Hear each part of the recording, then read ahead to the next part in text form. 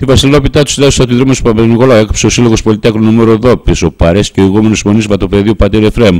Οι οργανωτέ βράβησαν ε, νέες πολύτεκνε μητέρες καθώς και τα τέκνα πολίτεκνων οικογενειών που αρίστευσαν ή εισήχθησαν στην τριτοβάθμια εκπαίδευση. Άγιε Ιεράρχα Βασίλειο, πρέσβευε υπερημών των αμαρτών. Η βασική σκοπή του συλλόγου μας, ιδιαίτερα δε στη συγκεκριμένη δυσχερή οικονομική συγκυρία, είναι η στήριξη και η επίτευξη καλύτερων όρων διαβίωσης στα μέλη μας.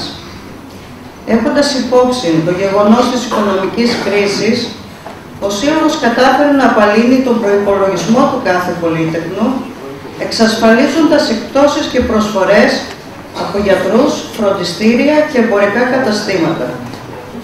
Αρρωγού στην προσπάθειά μας αυτή, εκτός από την Ιερά Μητρόπολη Μαρονίας και Κομωτινής, Έχουμε πάντα τους τοπικούς άρχοντες, ήδη την Αντιπεριφέρεια, τον Δήμο Κομωτινής και τις δημοτικές επιχειρήσεις, τους οποίους επίσης ευχαριστούμε. Όπως όλοι γνωρίζετε, η Ελλάδα μας ερυκνώνεται καθημερινά.